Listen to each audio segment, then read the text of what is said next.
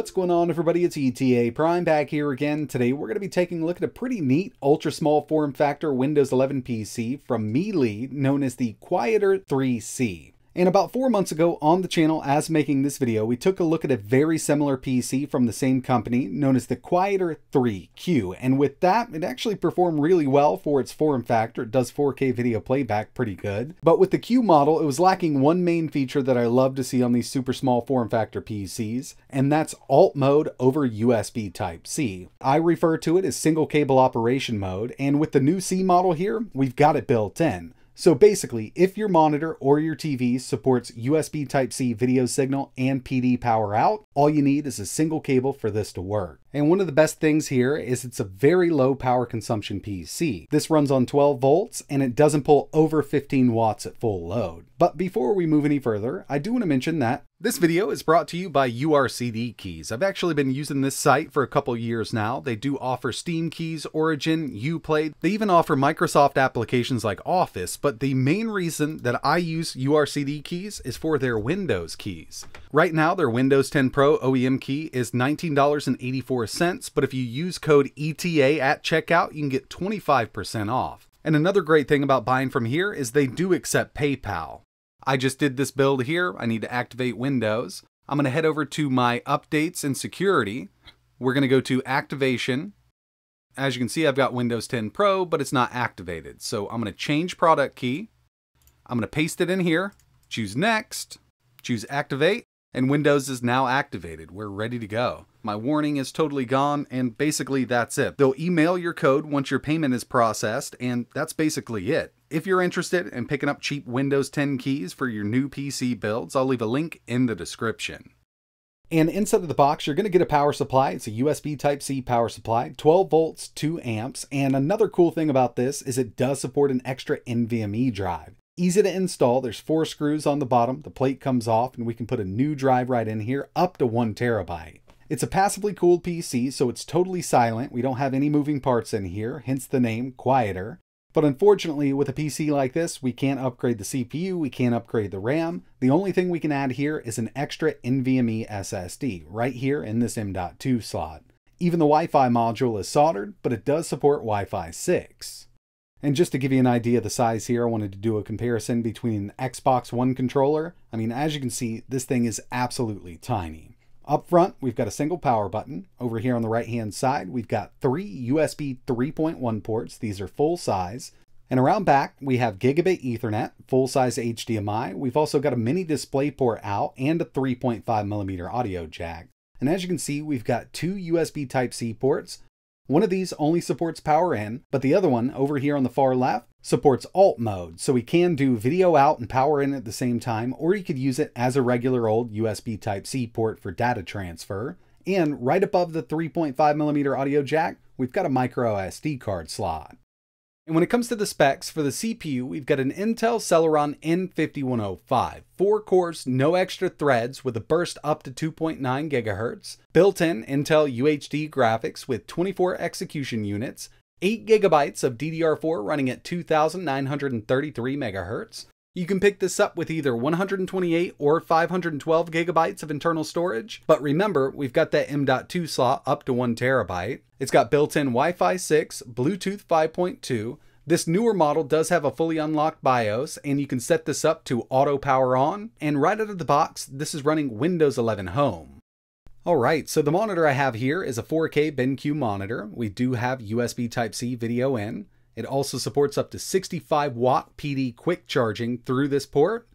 We won't get anywhere close to 65 watts because this doesn't even pull over 15, but it's single cable, powered on, and it's going to start to boot up. We're sending power in and video out through that single USB Type-C cable. And there it is.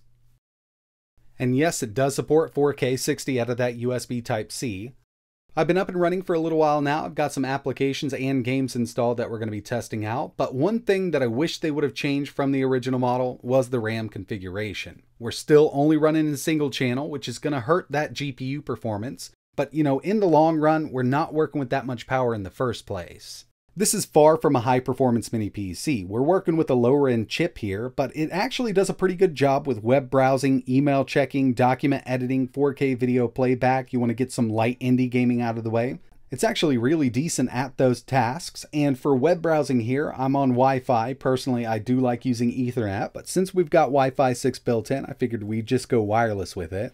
And yeah, I do think that this will make a great little secondary PC for some people, as long as you don't go into this thing thinking that you're going to run AAA games at 60 FPS or have 50 Photoshop windows open at the same time. Next thing I wanted to take a look at was some 4K video playback from YouTube. This is a demo video I always like to test, 4K 60 HDR. One thing I can say about these lower end Intel chips is before you even start the video, let it buffer out for just a second. Otherwise you'll have a lot of drop frames on the initial startup. But with the way this is set up right now, we've only got 10 drop frames so far, and throughout the video, that's all we're gonna get. So it really does a great job at 4K video playback if you want to stream it, or native playback from an external drive or internal. Now it's time to take a look at some light gaming because, uh, you know, when it comes down to it, we've got that low end chip and this is really what it's going to handle. Lower end stuff, indie games, older titles. And right now we've got the Windows Store version of Minecraft at 12 chunks, running at 60. I mean, it definitely handles Minecraft really well.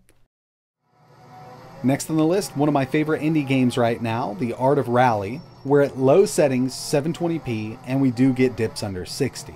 Now I've tested this chip before with dual channel RAM and it will run this at a constant 60, but we're only working with single channel RAM here and that's one thing I really wish they would have upgraded in this. It definitely helps out a lot.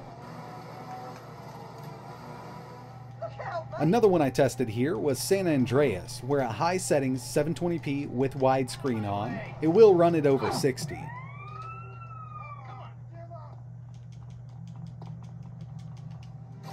And the last native PC game we're going to test here is Dead Cells, another indie game. I was actually surprised to see that this is running at over 100 FPS. I know it's a 2D side scroller, but I've actually had this game struggle on some of these lower end x86 chips in the past. So yeah, you can definitely get some gaming out of the way on this thing. It's going to be indie titles and older PC games, but they do work quite well.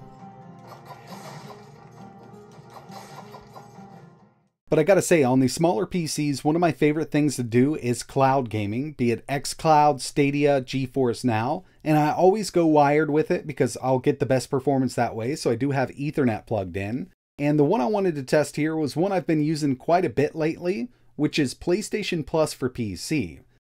So what this is going to allow us to do is stream from Sony's servers. This isn't remote play or anything like that. I'm not streaming from my own PS5 or PS4 in the house. This is PlayStation Cloud Gaming, and it's actually been getting really good over the past few months. So right into a little bit of gameplay, we've got Spider-Man Miles Morales. This is streaming from Sony servers. This does use hardware acceleration. It's actually using OpenGL, and hopefully in the future they can implement Vulkan because I think we'd get better performance that way. But I can minimize this at any time, and I'll just show you that we are on this PC here. If you've got a subscription to PlayStation Plus or a higher end subscription, I would highly recommend checking this out. It actually works very, very well.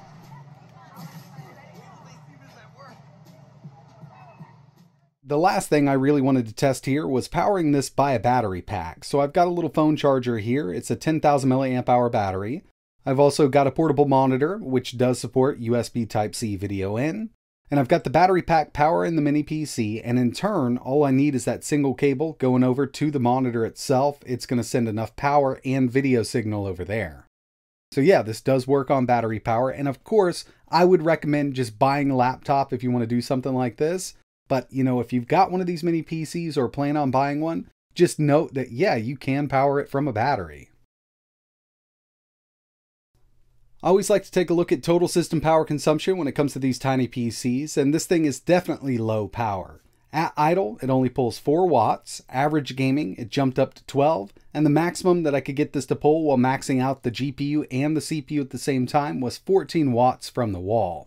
The C version here does have an unlocked BIOS and you can up the TDP, but it's not going to help out at all because we're already sending enough power to that CPU and GPU at 14 watts to keep those clocks up, so you're not going to see a significant gain in performance while up in that TDP. You're only going to see a little more heat, And speaking of temps here, idle 48 degrees Celsius, average gaming with the games that I tested in this video, which aren't super high end games, was 70 degrees Celsius. And I was able to make this thing thermal throttle by maxing it out for about 6 minutes straight on the GPU and the CPU. And I kind of expected that to happen. Running this thing at 14 watts, we don't have any external cooling. It's all passively cooled from the interior. But overall, I think it's a great little performer if you need a supplemental PC. Keep in mind, it's not a high-end gaming machine. It's not going to be great for video editing or even photo editing. Now, you could get some photo editing done on it, but this wouldn't be my first choice for anything like that. Web browsing, email checking, 4K video playback, indie gaming, you'll be good to go. So if you're interested in learning more about the MELE Quieter 3C, I'll leave a few links in the description. And if there's anything else you want to see tested on this, like a different operating system, let me know in the comments below. But that's going to wrap it up for this one. Like always, thanks for watching.